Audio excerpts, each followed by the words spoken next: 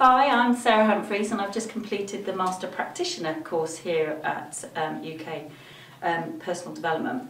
Um, I've got to say that um, all the time that I've been connected with this college has been fantastic for me on two real key fronts.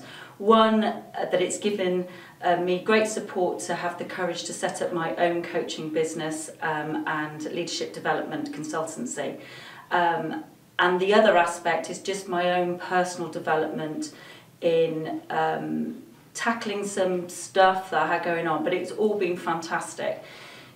I think the real key things that have made the difference for me has been uh, the interaction and support from the tutors and my fellow colleagues, um, but also just the other material that's here, the library, um, whether it's just um, sort of the guest speakers that we've had coming here. It's all really, really interesting um, and really takes you out into different areas of thinking, which is much wider than just NLP theory. So I think it really, really brings it alive. And I think coming here and being with other people really makes the difference.